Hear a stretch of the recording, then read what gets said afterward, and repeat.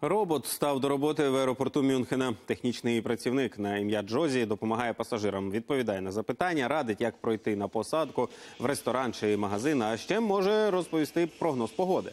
Поки що робот говорить, говорить лише англійською, але наразі вчить ще кілька мов, зокрема іспанську та французьку.